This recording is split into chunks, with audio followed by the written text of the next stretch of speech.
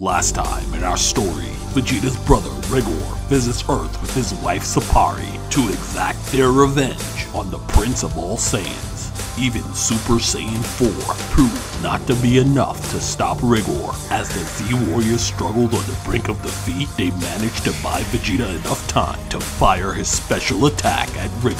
But will this be enough to take down the monster? Find out in this exciting continuation coming up next.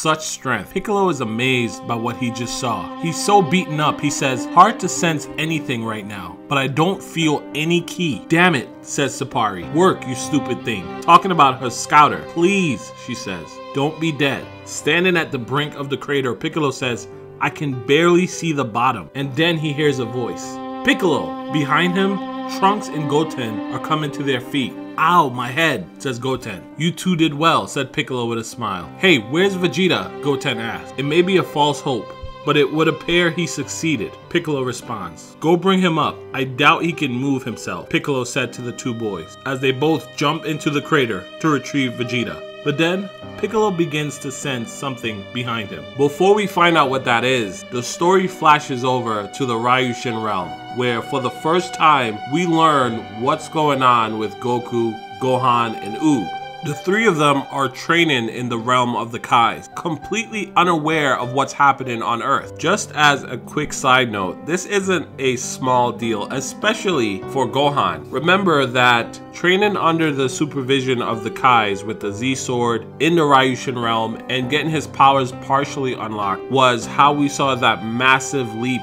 in power for Gohan, how he unlocked Mystic Form in Dragon Ball Z. And this was a pretty quick process, I think 24 hours or something. So depending on how long Gohan, Goku, and Oob have been training here, it could mean major things for their current power level. Dad, did you feel that? Said Gohan to Goku. Goku responds, yeah, a massive power coming from Earth. Oob says, maybe Vegeta's getting a little too into his training. Goku responds, I don't think so. Something doesn't feel right.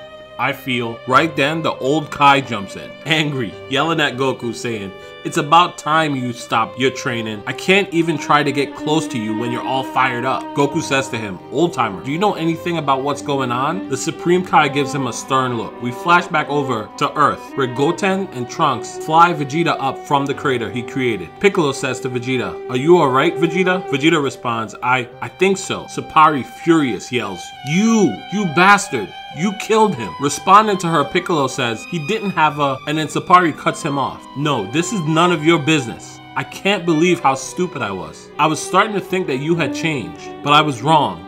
You're the same monster you've always been. I should kill you myself for what you've done. Then her scouter begins to go off. What?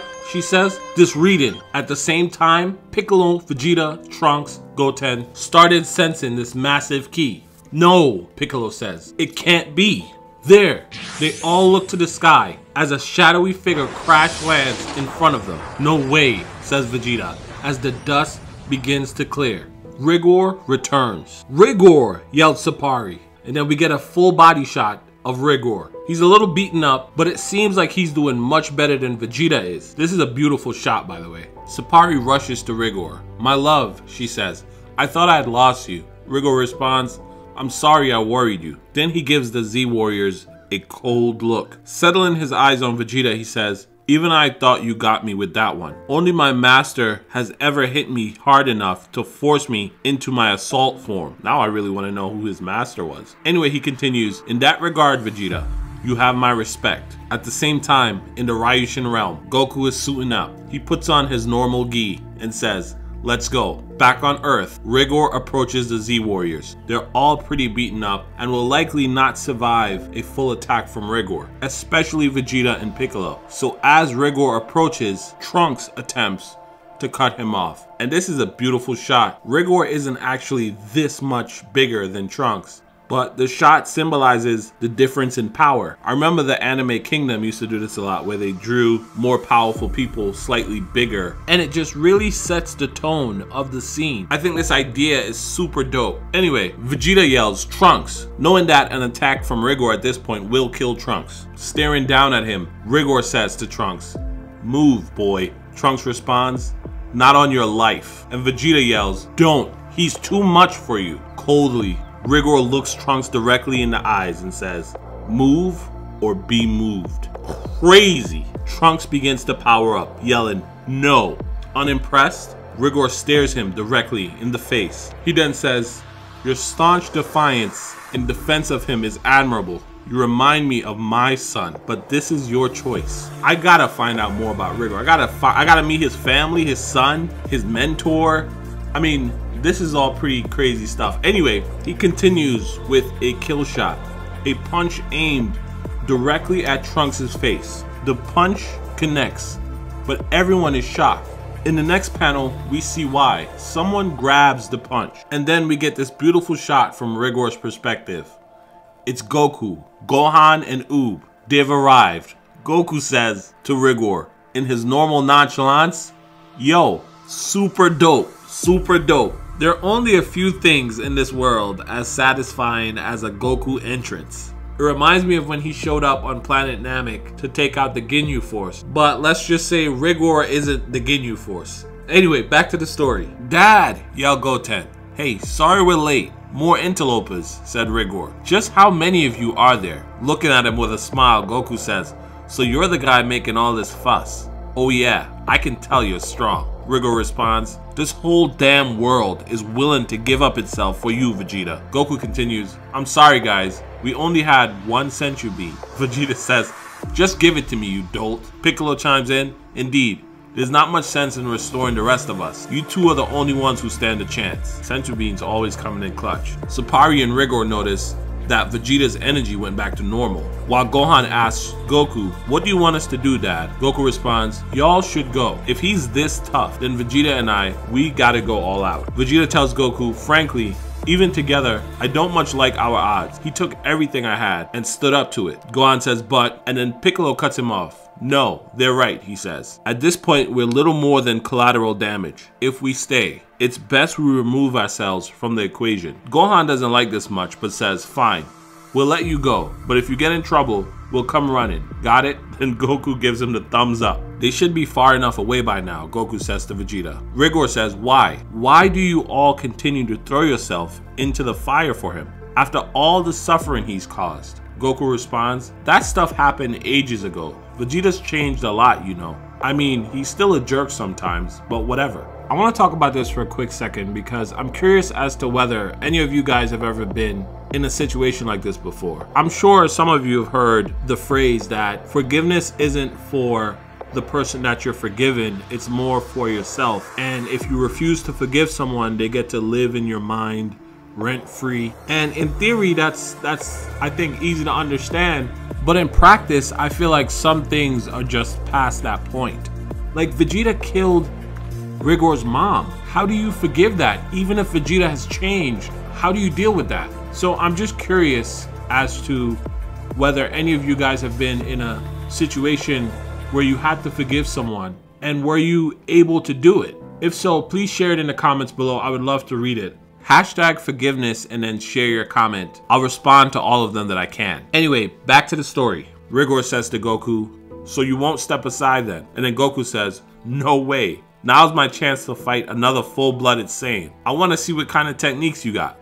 This will be fun. Fun, Rigor says. This is a game to you. Furious, Rigor responds, It doesn't matter.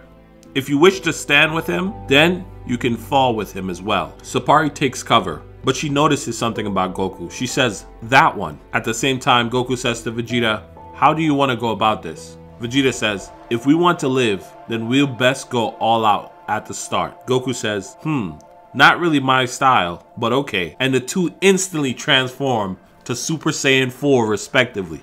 Beautiful shot. I can only imagine this being animated. It, will just be so dope. To himself, Rigor says, they both have forms like my assault form, and Vegeta's last attack weakened me. Against two, my battle form might not be enough. And he also begins to power up. Full body shot. For the first time, we get to see that what Rigor is calling his assault form is his own unique Super Saiyan 4 transformation. Goku and Vegeta are both surprised by this. Some distance away, Gohan and Piccolo can sense Rigor's transformation. All three Saiyans charge each other, and the battle begins. If you made it this far in the video, hashtag Rigor's back in the comments below. There's two quick things. First off, big shout out to Malik for all the hard work he's done on this story. It's amazing. I'll leave a link to his YouTube channel in the description below. You could drop by and say hello. You could tell him I sent you. Second thing is, I know I haven't been uploading as often as I would like on this channel, and I'm really just blown away by all the messages I get of people asking if I'm okay. I really appreciate it, and I'm 100% fine. What's been going on is that there's just been a lot happening in my life recently. In the last year, I moved across states, got married. My wife and I are expecting a baby really soon. There's been some negative stuff too, like having to deal with Toei falsely flagging this channel with almost 40 copyright strikes. All that and the fact that I hate to upload crap that no one wants to watch to my channel just to say I uploaded something are the reasons why you haven't been seeing new videos. I think where I've been messing up is that I haven't been allowing myself the time to sit down and process all these major changes in my life and that's affected my ability to sort of be creative and pump out these videos the way I would want to. I think I'm also messing up by not having a proper team. Based on the messages I get, I know these videos mean a lot to a lot of people, even if it's just entertainment. They mean a lot to me too. And so I will be doing all I can to get them out more consistently going forward. Priority number one is I want to start building a team of people who I feel comfortable working with. So if you enjoy these videos and you have any video editing skills or skills with drawing manga or coloring manga, please shoot me an email at the address in the description with an example of your work. Looking forward to hearing from you guys. Anyway, that's it for me. Thank you guys so much for all the support. I can't tell you how much it means to me and how life changing it is. I love you guys. Do me one favor. Please have yourself a great rest of your day. Bye.